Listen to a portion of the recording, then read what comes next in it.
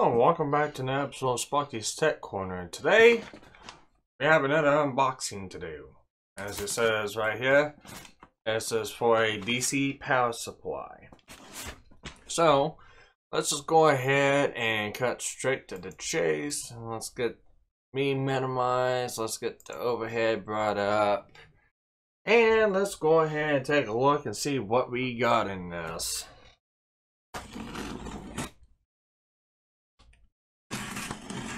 Let's see how they did the packing. Let's see if this fan's as cheap as it says it is.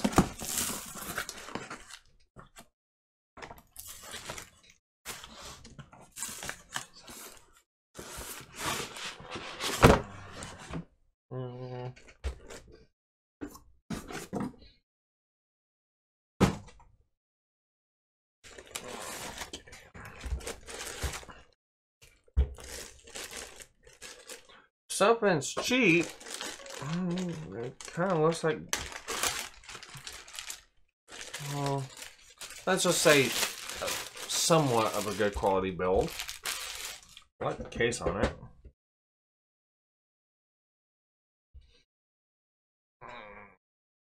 Mm, Okay, let's take a look at it. Now, I'll have a description of this down in the um, the link in the description below. So what this is, I do believe this is a 30 volt max, 10 amp max output uh, uh, power supply. And in doing electrical component work on circuit boards and other good stuff, it's important to be able to power something and be able to choose the power of whatever it is you're trying to power. Say if it's a 12 volt object, if I don't have the adapter for it, I can just supply power to wherever with this.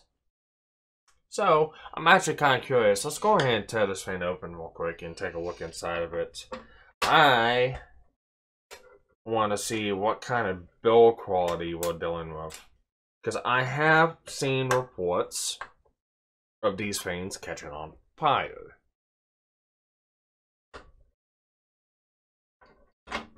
In that case, I'm going to go through, I'm going to do some modifications to this.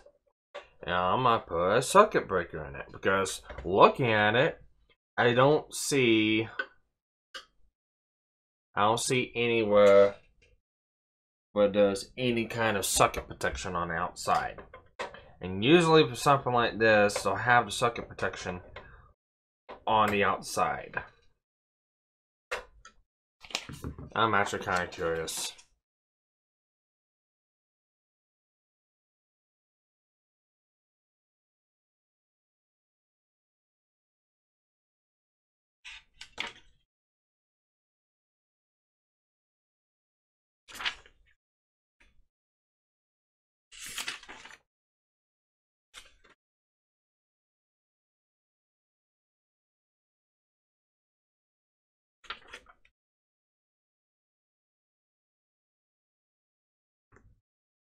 Okay, no, no, I was right. I was wrong.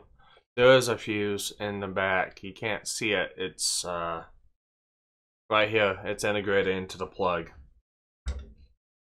So at least it does have some socket protection in it.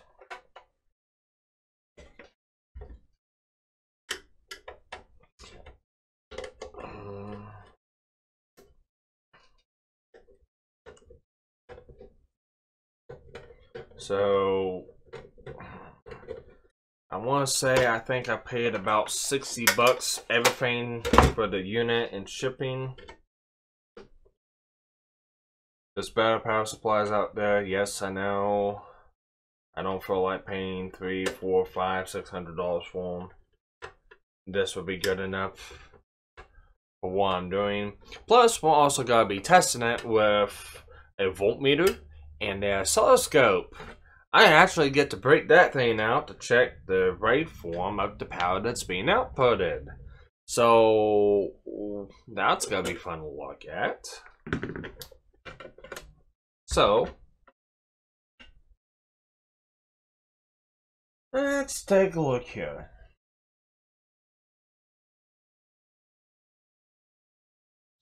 We have a thermal plate, got a thermal switch here.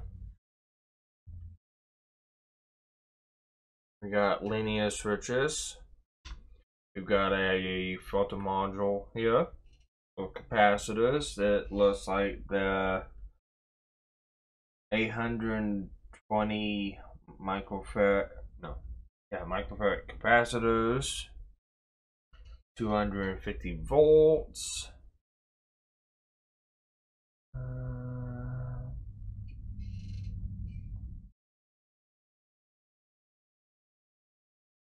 Controller board here. We got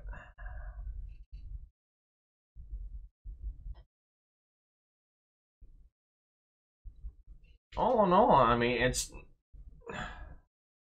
I mean, it's cheap, but at least it's good quality cheap, if there's such a thing. Um,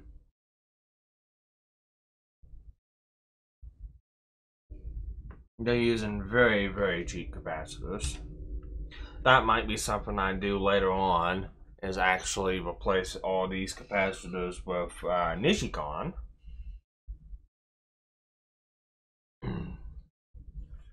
So, okay.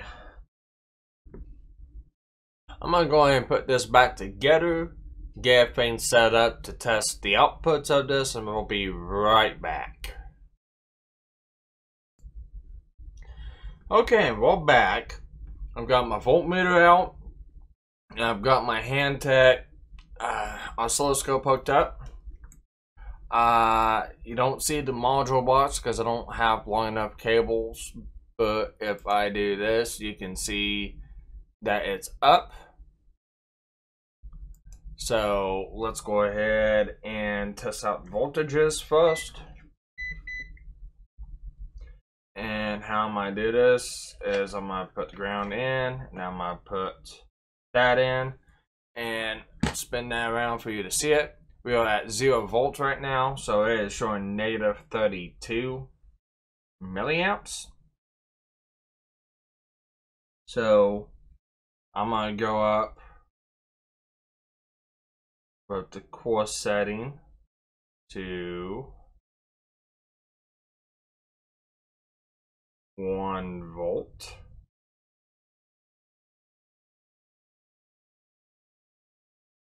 so 1.03 and the way this display works it reads 1.0 so that's within acceptable tolerance. Let's go up to 3.3 volts usually computers uses 3.3 volts we got 3.37 that's good let's go up to 5 volts.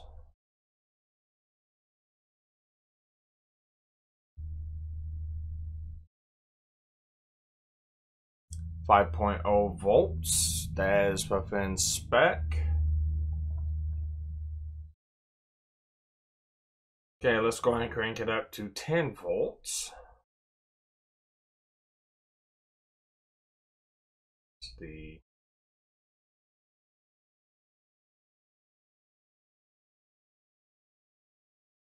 Right there's 10 volts. Very good.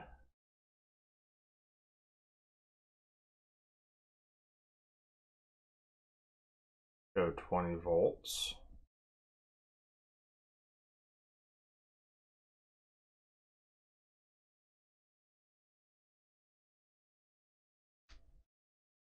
There's 20 volts. And let's go ahead and go all the way up to 30. And if you can listen, fans kicked on. Which I think it just does that when it gets when you get to a certain voltage range. 29.93 4 5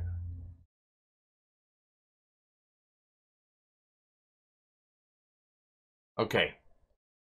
Voltmeter says 30 volts. The machine says 30.1 volts. So the higher the voltage goes up on this, the less accurate it gets. But I am, I am real glad to see that, like, if I wanted a 5 volt reference,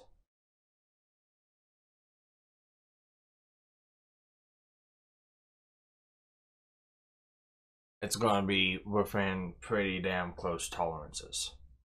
Now, we're going to go ahead and check the AC ripple to see what kind of interference we got in this unit. So let's go ahead and hook our ground up to here.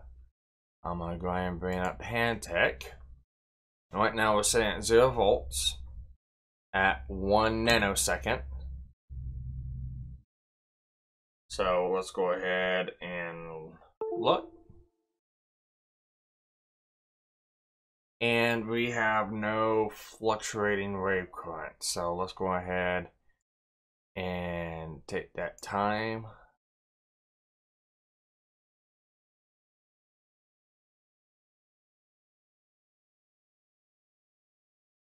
Just go right there.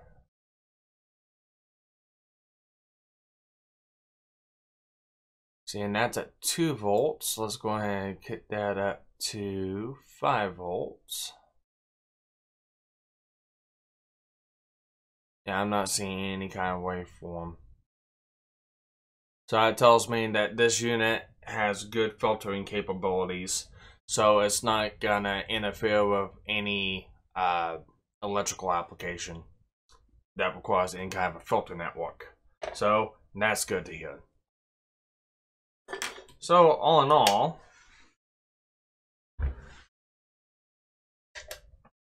I'm kind of eager to give this train a test and see how it's going to do for some of the stuff I've got planned for it. So, if you want to see more, please stay tuned to Sparky's Tech Corner. If you like the video, please like, please subscribe, and I'll see you guys on the next one. Thank you. Bye.